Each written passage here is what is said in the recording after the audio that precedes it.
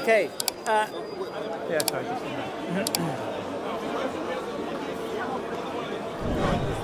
yeah, hi. So, greetings. Last week, I had a conversation with God Logic and his, uh, his team, and we ended up discussing a passage in Isaiah 48:16. And God Logic explains that because he believes Jehovah is speaking in the preceding verses in Isaiah 48, he therefore and therefore continues to speak in Isaiah 48:16 that because the speaker is Jehovah and he declares that the Lord Jehovah has sent me and his spirit, sorry, the Lord Jehovah has sent him and his spirit, that this must mean there are two Jehovahs in this passage. God logic then claims that because one Jehovah sent his spirit, then the spirit is also a distinct person and therefore we have the Trinity. As such, we can abandon the common Trinitarian claim that the Jews believe in two powers in heaven, because actually they believed in three. What is it? God logic, two powers or three?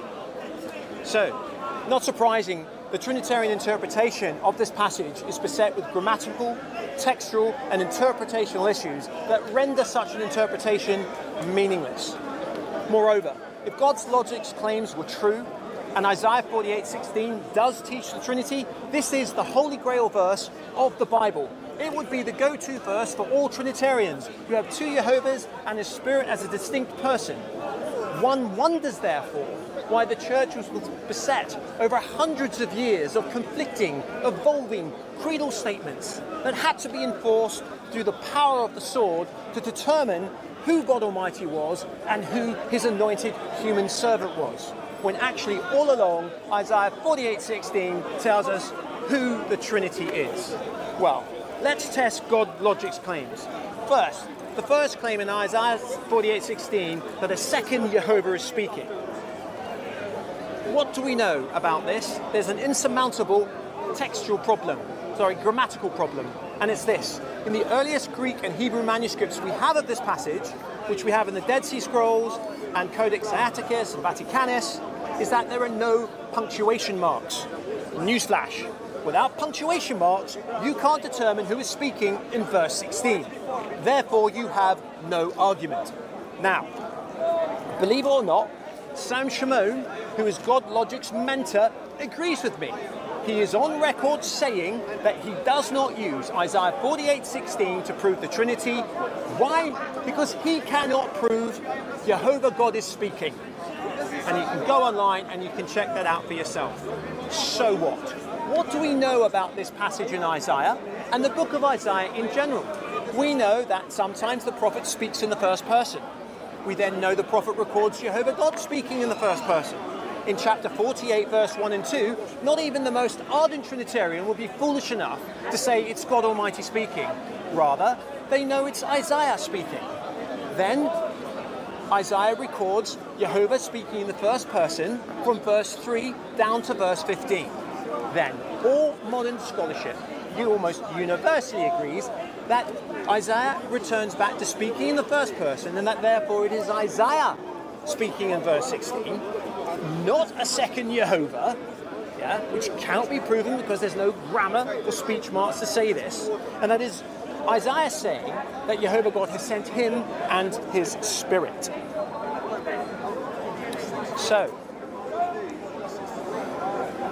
and if we look at the context of this passage within the historical contents of Isaiah, it's clear that it is a message for the people of that day. It is a prophecy concerning the capture of Babylon by Cyrus. And in verse 20, we have Isaiah telling the Israelites to flee from Babylon. There's a practical element to this. Isaiah was given a prophetic message to share. Now, secondly, this passage is never attributed to or claimed to be speaking of Yeshua in the New Testament. So, on what grounds does God logic make such an assertion? We can't isolate single random passages from the Hebrew Bible and then claim they're speaking about Yeshua without the authority of the New Testament. Because the New Testament teaches us that after the resurrection of Jesus, he spent 40 days teaching his disciples what specific passages in the Hebrew Bible were about him. This verse is never explicitly attributed to Jesus in the New Testament. And thirdly, this is the majority Trinitarian view that it is not God Almighty speaking, in Isaiah 48:16. Thus, our start point has got to be we acknowledge these words were spoken by the prophet Isaiah in the first instance. He was the one Jehovah sent to proclaim the message. He proclaimed it with the authority of and under the direction of the Spirit of Almighty God. Sadly, God logic has demonstrated an abject failure to apply any logic in arguing there are two Jehovahs presented in this passage. Thus, he has failed at the first hurdle. Secondly, we're going to look at the second claim that because the Spirit is sent, that somehow, all of a sudden, a Holy Spirit person has manifested in the Hebrew Bible. Now, in order to look at this, we need to set a sure foundation, and I'm going to explore and go through how the term Holy Spirit or Spirit of God is used in the Hebrew Bible and the New Testament. So, starting with the Hebrew Bible, we have approximately 125 occasions where Scripture talks about the Spirit of Jehovah or the Spirit of the God, or we have Jehovah speaking in the first person saying, My Spirit. Okay? Now, finally, we have three occasions where in the Hebrew it talks about the Spirit of His holiness talking of Jehovah God's Spirit. Now, in the English, these three phrases are translated as Holy Spirit. Jehovah declares that He has or He will pour out His Spirit. He will place His Spirit. He will put His Spirit upon His apostles and His anointed ones. Yet we see no Jewish prophet or writer ever argue or think or write that this is referring to a distinct Holy Spirit person. It talks about the Spirit being the possessive of God Almighty. We're also told the Spirit of Jehovah took possession of Gideon, took up, came upon the prophet, rushed upon Samson, rested upon the uh, uh, Yeshua, has lifted up uh, a prophet. In every single passage, the Scripture declares the Spirit is God's and it is not a distinct person. And this shouldn't surprise us. As 1 Corinthians 2:11 and 16 teaches us, the Spirit of God is inseparable from the person of God. Just as if, sorry, just as the spirit of a man is inseparable from a man. I'm just going to say that again. This is the universal cry of the Hebrew Bible and the New Testament. Just as the Spirit of the God is inseparable from the person of God, so the spirit of a man, so your spirit is inseparable from the person of you. So, if we now turn to the New Testament, we find something really peculiar. We find the Spirit of the God, or the Spirit of God used approximately 20 times. We see that the, the title, the Spirit of the Lord, so a replacement for the Spirit of Jehovah, used approximately four times. On three occasions, the God is recorded speaking in the first person, saying, My Spirit. And on five more occasions, the Spirit is identified as the Father's Spirit or God's Spirit. But this is the anomaly. For some reason, we see the phrase Holy Spirit a whopping 94 times. That phrase isn't even, well, if used, it's only used three times in the Hebrew Bible. So potentially this provides the origin of some of the confusion we have when trying to understand the Holy Spirit, because the language from the Hebrew Bible has subtly changed. But I don't think we need to worry, because Yeshua teaches us our holy God and Father is Holy Spirit. God Almighty is who He is. He is the one true God. Spirit is what He is. I'll say this again. Our God and Father is holy. Yeah? God Almighty is who He is, the one true God. Spirit is what He is. And because Jehovah God is Spirit, He can pour out, He can send, He can place His Spirit on the prophets and His anointed ones, on you and I. He can even give authority for Jesus to place on others in a way in which we cannot understand. We don't have to understand it in its fullness. We just need to trust what Scripture says and not go beyond what is written in Scripture. So the Holy Spirit isn't a third person. Our holy God, the Father, is Spirit, and the Bible makes it perfectly clear that the Spirit is the Holy Spirit. The Holy Spirit isn't someone else, but the Father's own Spirit, which is why we call this Spirit His Spirit, and why He calls the Spirit my Spirit. So, and why do I say this? Because in the New Testament, The titles of the Spirit of God, the Spirit of the God, Spirit of the living God, Spirit of our God, the Spirit of the God of us, the Holy Spirit of God, the Spirit of the Father, the glorious Spirit of the God, my Spirit, Spirit of the Lord are all interchangeable with the title or phrase the Holy Spirit in the book of Matthew, John, Acts, Romans, 1 Corinthians, 2 Corinthians, Ephesians, Philippians, 1 Peter, and 1 John. So what? Our starting point for assessing God Logic's claim that because in Isaiah 48:16 that Jehovah sends his spirit with this human prophet, that this is somehow talking about a distinct Holy Spirit person must be rejected out of hand because there is no evidence anywhere in the Hebrew Bible or in the New Testament that Jehovah's Spirit is a person distinct from him. We're now just going to go to the passage in detail. For interest, some of you might be interested to know that the earliest record we have of this passage is from the Dead Sea Scrolls, and we've got three witnesses.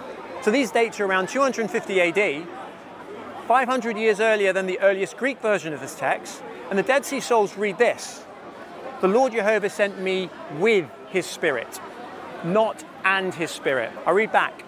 The earliest record we have of Isaiah 48:16. Three witnesses in the Dead Sea Scrolls. Jehovah, the Lord Jehovah has sent me with his spirit. And doesn't that make sense, ladies and gentlemen? We have three witnesses in the book of Isaiah that Jehovah God would raise up a human, spirit, a human prophet on whom he would place his spirit upon, who would pour his spirit upon, that the spirit of Jehovah would rest upon that individual. We're going to go look at them very quickly in a second. Now, even if the Greek statement is authentic and it says, The Lord Jehovah sent me with his Spirit, does that mean the Holy Spirit has now manifested himself as, a, as an individual person? Of course not. Look, in the, uh, in the Hebrew, the verb has sent in Isaiah 48:16 is in singular form, which indicates the term Jehovah, the Lord God, and his Spirit are not describing two separate divine beings, all persons. The word spirit is simply a biblical term for indicating God in action. He is doing something, such as sending someone, and in this case, the prophet Isaiah, accompanied with his spirit. Or put another way, his spirit is not a second subject along with Jehovah, but a second object. Both the one human being being sent and the spirit are Jehovah's. Thus, modern scholarship almost universally agrees, and these are Trinitarians, not Unitarians, that the person speaking here is Isaiah in the first person, talking about being sent on a prophetic mission by the one true God, being empowered and equipped with the Spirit of the one true God. And if you just read the preceding verse in Isaiah 48 16, this is crystal clear. We don't even need to go to grammar. We don't even need to go to earlier manuscripts. Let's listen to what Jehovah God says in Isaiah 48:16. Here, he explicitly defines himself as a single person, a single one, a myself, and then he sends, then he declares he sent only one person, not two persons. Look, Isaiah 48 reads, I myself, I have spoken. First person singular pronouns. Yeah? Indeed, I have called him. Jehovah doesn't say, I have called them. God logic is arguing in verse 48:16 that there are two distinct persons in view. A second Yahweh, which is Jesus, and a, a third divine figure, which is the Spirit. What does Jehovah God say in Isaiah 15? I myself have sent him. Jehovah is sending one person, the prophet. And just ask yourselves when you read Jehovah God saying, myself, how many selves are there in the phrase myself? Come on, guys and girls. And what's really important to understand is that Jehovah is a singular noun. Yeah, I'm going to say that again. Jehovah is a singular noun. Look, the Hebrew Bible tells us it's replete with examples that the Spirit of God is at his disposal to, to bestow upon anyone he chooses. And we've already talked about how that God sent out his spirit, he poured out his spirit, he placed his spirit upon people.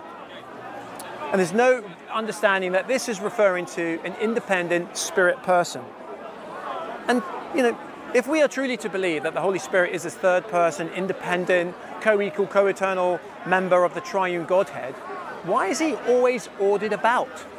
Why is he always told what to do? Why doesn't he have a name? Why is he missed out of key greetings? Why is he never prayed to? Why is he never worshipped? Why doesn't he have a throne to sit on? Even the 24 elders in the book of Revelation have a throne, but not the poor old Holy Spirit.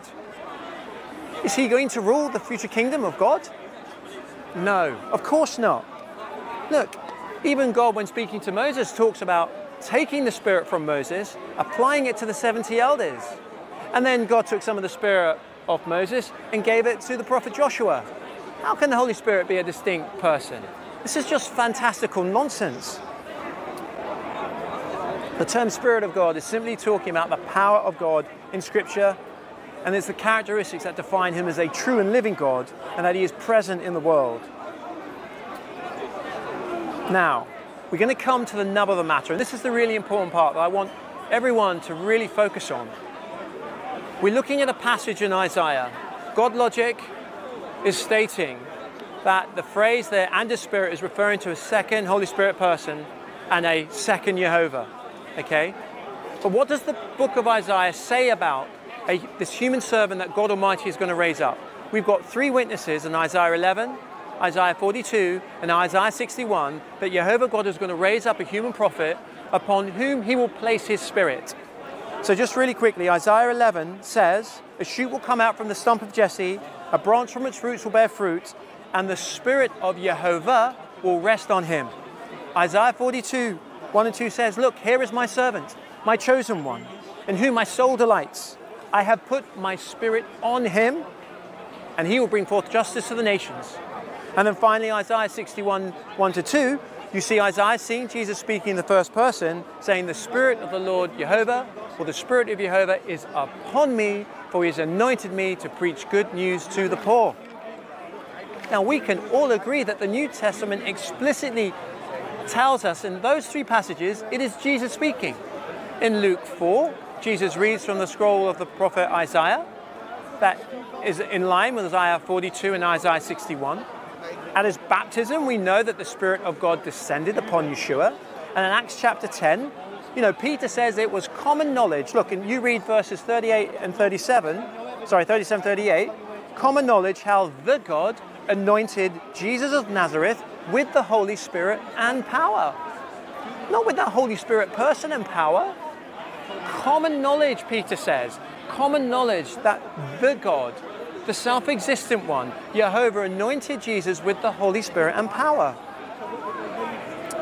And then in Revelation, in three occasions, chapters 3, chapters 5, and chapters 22, we are told by Jesus himself in the first person that he is the one spoken about in Isaiah 11, upon whom the Spirit of Jehovah will rest. And he's given this Spirit for the edification and building up of the church in his role as the high priest. And I'll just read one of the three versions as I'm drawing to an end. It says in Revelation 5 5, and one of the elders said to me, Do not weep. Behold, uh, behold, the lion of the tribe of Judah, the root of David, has conquered so he can open the scroll and its seven seals. These passages prove beyond doubt that the language of Jehovah sending his spirit in Isaiah 48:16 is not talking about a distinct Holy Spirit person. We have got to submit to the hundreds of statements that refer to the Spirit of God as his own possession. Jehovah God is spirit. He is not flesh. The Spirit is His active power and presence in the world. We can't fully comprehend it. We don't have to, we just need to trust it. So, the last statement I'm going to use, I'm just going to address very quickly now, is the slight butchering of John 15 26, because this is kind of where God Logic and his buddies retreated to, where it talks about the Spirit proceeding from the Father. Now, the point is, is that many Bible translations don't use the word proceed, so we've got ambiguous, an ambiguous translation of a Greek word. Yeah? Actually, the, the full definition is to make, to go forth, or to go forth. And I would argue that the most honest translation of that verse is this. And I've got it from the Center for New Testament Restoration. And it reads When the advocate or the helper comes, whom I will send to you from the Father, this is Jesus speaking, the Spirit of truth, who I will be sending, literally, who I will send from the Father, this one will testify to me. You see, if we get rid of this word proceed from, we can get rid of all this philosophical, pagan nonsense that somehow if the Spirit proceeds from the Father, that the Spirit is a distinct Holy Spirit person. When does Jesus ever talk about this, guys? Look, the Nicene Creed is clear. It only mentions the Holy Spirit in three sentences and the Holy Spirit. We are told that at the Council of Constantinople, that the bishops there added the Filioque, a more eloquent statement recognizing the Holy Spirit proceedeth from the Father and is worshipped along with the Father and the Son. And that happened in 381 AD. But there's a problem, ladies and gentlemen, which very few people will tell you, is that we have no historical evidence for this addition to the Nicene Creed ever occurring at the Council of Constantinople. In fact, what we do know about the Council of Constantinople is that an edict was made that no church father, no church council could add to the wording of the Council of Nicaea that was in 325 AD.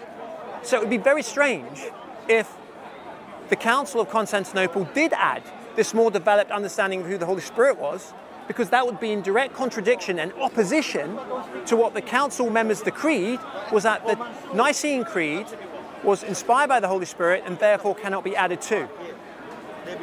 We then go to the Council of Ephesus in 421, and again, no mention explicitly of the Holy Spirit, but they do say no one is to add to the words of the Nicene Creed.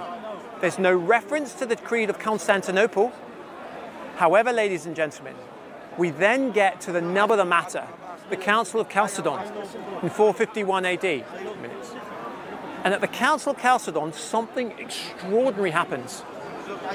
And you can check what I'm saying by going to any papal website and researching this for yourself. At the Council of Chalcedon, the church members there discover by chance the so called Constantinople Creed, where all of a sudden the Holy Spirit is identified as, as something. And so they say, look, we now have the evidence. Although the early church fathers said we cannot add to the Council of Nicaea, we now have authority to add to the Council of Nicaea because look, they did it back in 381 AD. The issue is, folks, there is no historical record of any church father or of the council records of Constantinople or Ephesus of this additional statement about the Holy Spirit that is touted by Trinitarian scholars of Constantinople. There's no evidence that it was ever written. No church father ever quotes it.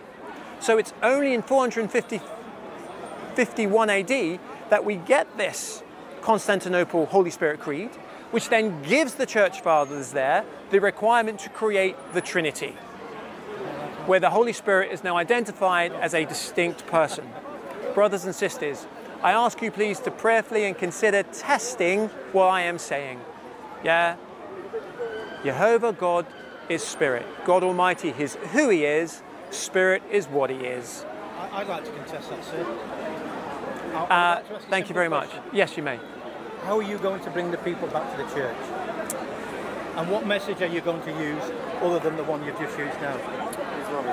Well, well, well, no, no, it's fine. It's a fine question. I think how we want to unify in the worship of being obedient to the instructions of the one true God. We want to live lives, yeah, where we are, where where people can look at the way we live, and we live good and holy and righteous lives. That and so therefore they are drawn, and so by the way in which we live, our character is expressing the nature of God Almighty. So that's how. I understand that we all grow up with different religious and cultural experiences and influences, and that there is a battle for our souls, both in the flesh and in the spirit. And therefore, sometimes it's difficult and we can't know all the answers, and I'm presenting what I believe. I agree with what you've just said. Yeah. Okay. Yeah. But my, my, my disappointment is this. When Christians come to the park, they say, you're a sinner, you need to be washed with blood, you're going to hell, etc., etc., etc. Do you really believe that that's going to attract people to your church? No, I don't think that's the right message. I think the first message is to acknowledge. Again, I agree with what you just said. Yeah, yeah. So I believe the first message is is that we acknowledge that we are created. We're not an accident, and that this world was created by the one true God. The creator, Yeah. Pardon, sorry. creator. The Creator, and and He cares about how we live, and He has a message for us, and and part of that message is He wants us to live good and holy and kind lives. I agree. Yeah, and so um, it's understanding what his message is, what his instructions for living are, and what his guidance is. And so there comes a point where if someone is exposed to that and they choose to reject that, that that is where, because our Father, our God, is a just God, is that He will punish the wicked.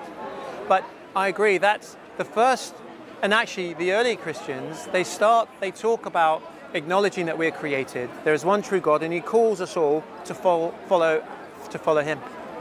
So again, what is the message that you're going to send out there, like people here today, where people are going to stand here? Yeah, I'm just speaking to him, but so I finished my I'll, bit I'll tell now. you what. I'll tell you what. I'll Yeah. tell you what. Read a small passage for me from your Bible. A small passage. Matthew 5, 1 to 43. Any two or three from that passage, Yeah, that's please, fine. if you would. I don't know your name, by the way. Uh, Josh. Josh. Yeah, yeah. Josh. Yeah, yeah, we will do in a second. I'll just answer these little questions. Yeah, they, they wanted to have a discussion. Well, they would do just because I'm. Uh, it always happens. Don't worry.